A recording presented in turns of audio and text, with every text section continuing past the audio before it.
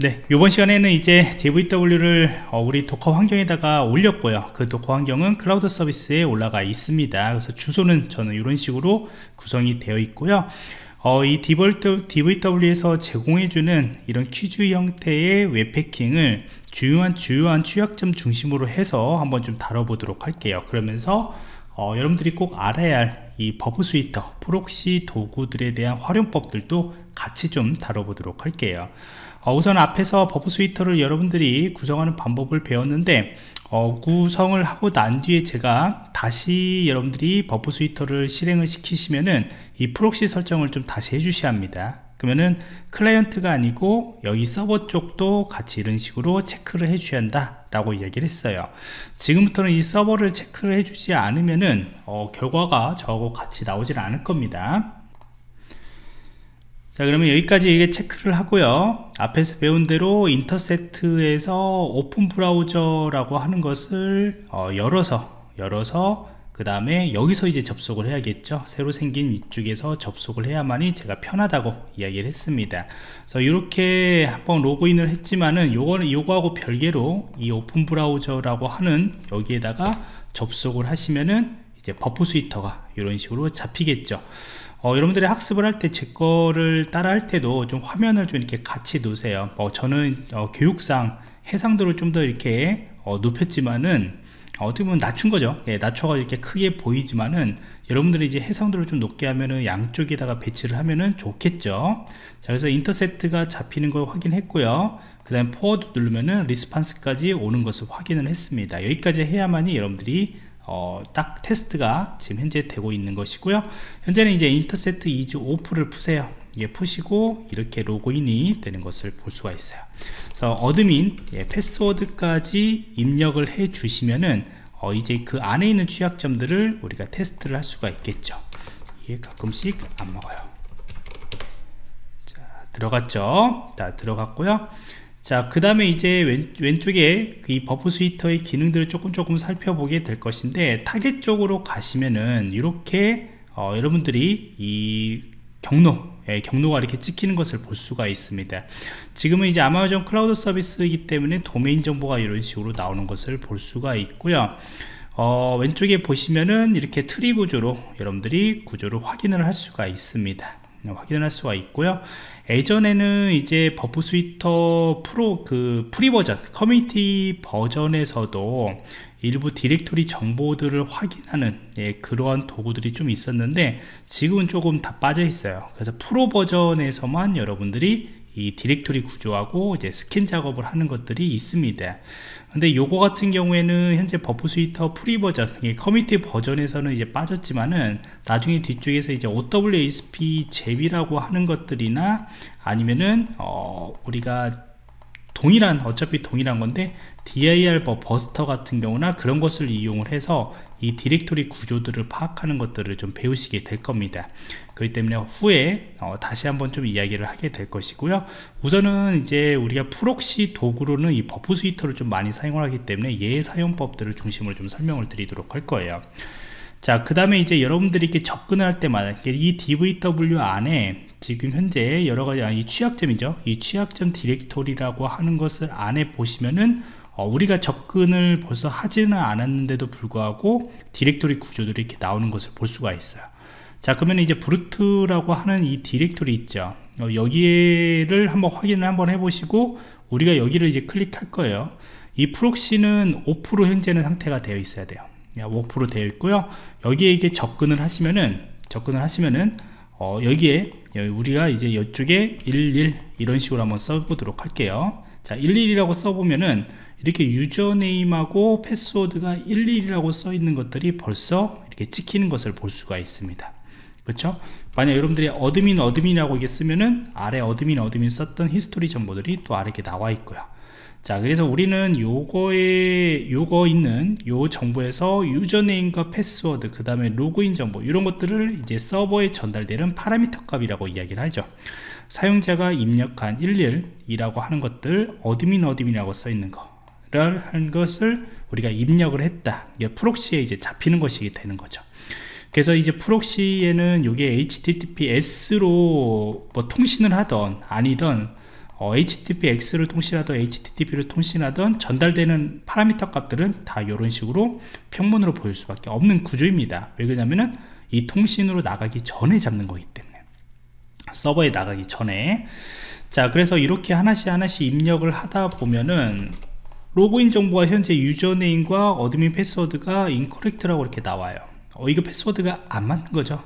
패스워드가 안 맞기 때문에 어, 정답이 아닌 겁니다. 정답이 아닌 거예요. 그렇기 때문에 여기에 정보들을 보면은 이제 리퀘스트 값 어, 오른쪽에 보시면은 리퀘스트라는 것은 아까 프록시에서도 리퀘스트 값을 우리가 잡아가지고 중간에 이제 확인을 할 수가 있는 거잖아요. 자 그렇기 때문에 이렇게 나가는 것이고 이것이 이제 서버로 전달되는 값이고요. 그 다음에 이제 리스판스 값. 여기에 리스판스 값을 보면은 205K라고 분명히 떨어져 있지만은 왜 그러냐면 요 페이지가 보이는 요것도 어차피 정상적인 페이지. 우리가 205K HTTP 스테투스 정보입니다.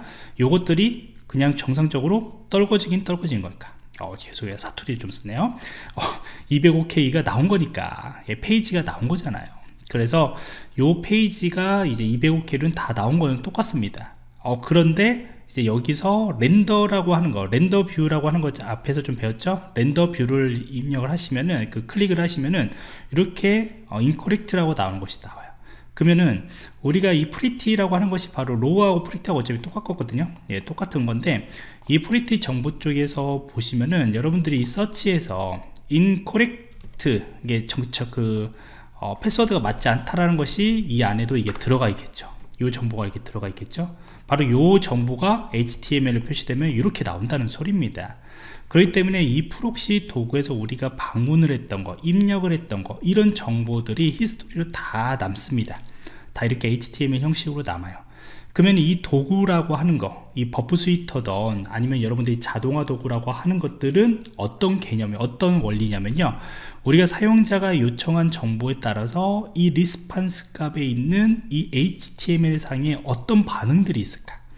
이게 요청한 값들이 HTML하고 어떤 자바스크립트든 안에 있는 어떤 문자열들이 이제 해석이 돼서 우리한테 브라우저로 이제 보여주게 될 것인데 이 브라우저에 그러면은 어, 자동 도구가 어, 원하는 거, 게 사용자가 원해가지고 나는 뭐 또 이 안에 패스워드를 찾고 싶어, 이 안에 이메일 정보들을 찾고 싶어, 아니면 내가 정말로 무작위로 디렉토리 검사를 했는데 그게 그것들이 페이지 페이지가 있는지 없는지 같은 경우에는 바로 이 리스판스라고 하는 값에 의해서 판단을 하게 되는 것이죠.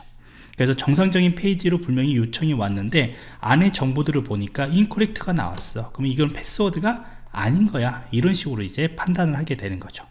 모든 자동화 도구, 웹 자동화 도구는 바로 이런 원리로 이제 만들어지게 되는 겁니다.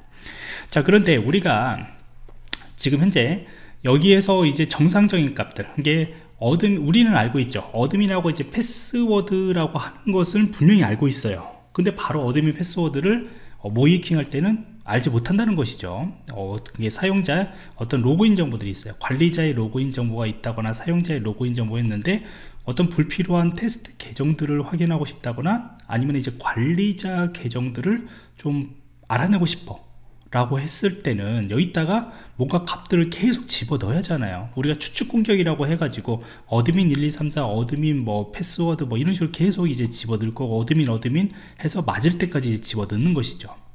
자 그런 원리라고 보시대요. 그 원리들을 그대로 이제 버프 스위터에서 활용하겠다는 것입니다 자 어떻게 활용하는지 한번 좀 보도록 할게요. 자 그러면 이제 천천히 처음에 이제 천천히 좀 할게요. 우리가 버프 스위터에서 인터셉터 2존을 잡으시면 어떻게 되죠? 여기 중간에 전달되는 값이 만약 우리가 어드민 어드민 아니면 뭐 테스트 테스트라는 계정이 있나? 라고 해서 확인을 했을 때 이것이 로그인을 하면은 중간에 이렇게 로그인을 하면은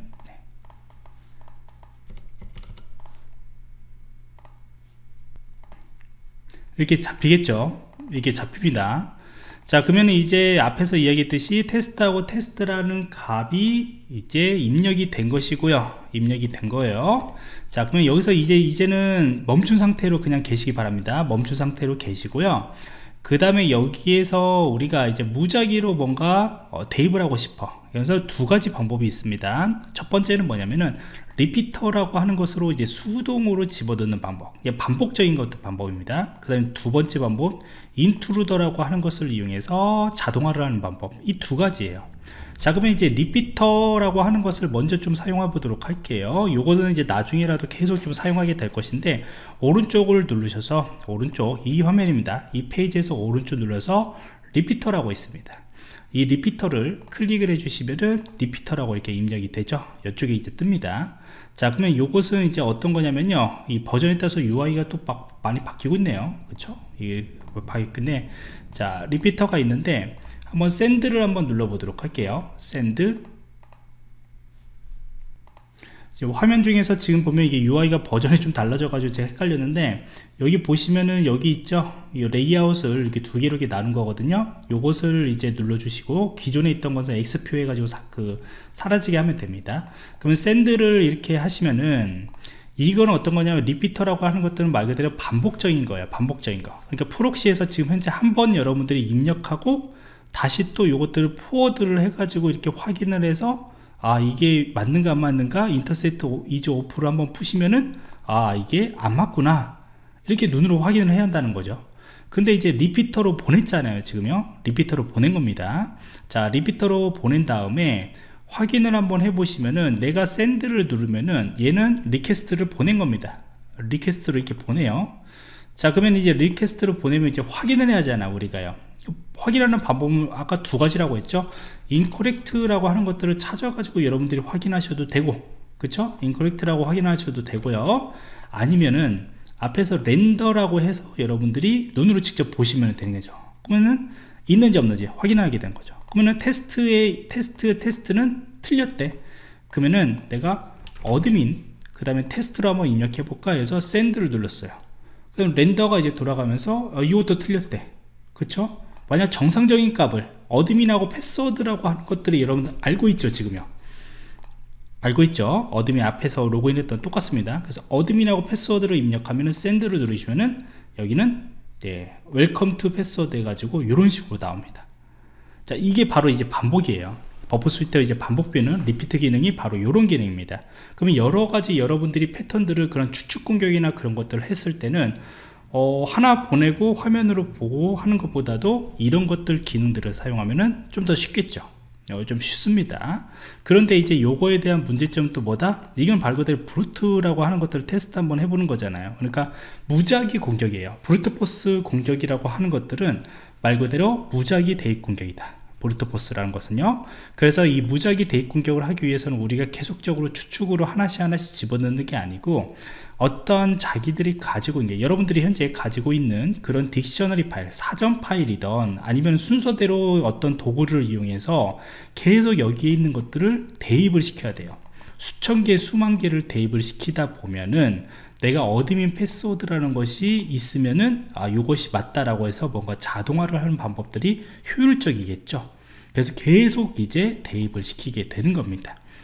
어떤 말인지 아시겠죠? 그래서 이 리피트라고 하는 것들은 내가 가지고 있는 것을 이제 좀 더 더 편하게 반복적인 것에 대해 사용하는 것이고요. 그 다음에 이제 다음 시간에 다룰 이 인트로다라고 하는 것들은 자동으로 여러분들이 그 점검을 진행을 하게 될 겁니다 자 그래서 다음 시간에 인트로더라는 거에 대해서 한번 좀 배워보도록 할게요